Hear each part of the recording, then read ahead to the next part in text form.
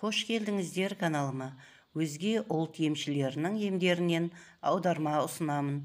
Аударма ұнап жатса лайк басып тіркеліп видеоны достарыңызға тарқатып қолдау көрсетіңіздер.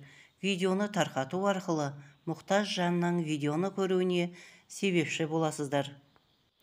Кейбір аурулар асқазан ішек жолдарының дұрыс жұмыс істемеуінен басталады. Асқазан ішек жолдары неге дұрыс жұмыс істей алмайды? Ол да өзіміздің бала күнімізден дұрыс тамақтанбай асқазан тұз қышқылын азайтып алғанбыз. Содан жеген тамағымызды қорыта алмайды.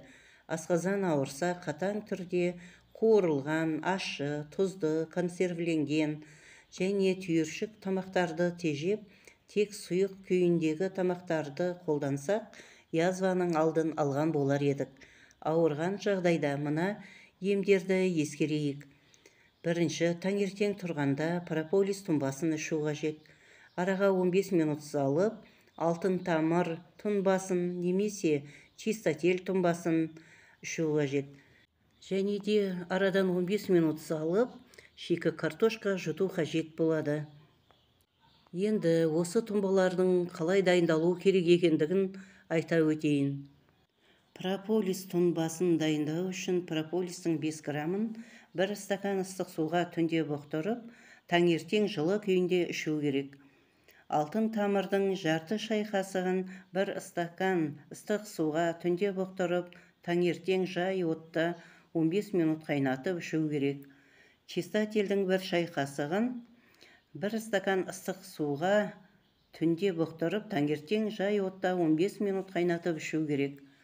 Прополистің тұнбасынан соң алтын тамырдың тұнбасын немесе чистотелдің тұнбасын ішу қажет. Тек екі, екі тұнбаны да қатар пайдалануға болмайды. Шикі қызыл картопты таңертең жуып сыртымен қосып майда теркадан өткізіп жұту керек. Шайнамаған дұрыс. Осыдан соң жарты сағат немесе бір сағат ештеңе жеуге болмайды. Енді күндік тамақ рационына тек қана каша сок түріндегі тамақтарды пайдалану қажет. Мысалы овсянка гречкадан кашалар тек сүтсіз қантсыз болуы керек. Ешкі сүтін қолдануға да болады. Түрлі жармалар түрлі горохтар фасольдар пайдалануға болады. Тек каша түрінде пайдалану керек. Көкөніс салаттары соктар ішуге болады. Алтын тамыр иммунитетті нығайтады. Гречка фитохимикатқа жатады қатерлі ісікке қарсы тұрады. Гречкаға зығыр майын қосып пайдалану керек. Прополистің антибиотик қасиеті бар. Картошка нөмірі бірінші ингибитор яғни ауруды тежеуші. 1955 жылы чехословакия ғалымы көкөністерді зерттеп осы тұжырымға келген. Тыкандарды яғни тіндерді орнына қояды. Тіндердің тез жазылуына көмегі зор. Ыстық сұйыққа немесе химиялық жолмен күйгенде картоп жақсы көмек береді. Картопты жапырақтап кесіп турап алып күйген жерге 15 минут сайын ауыстырып жапсырып отыруға жет болады.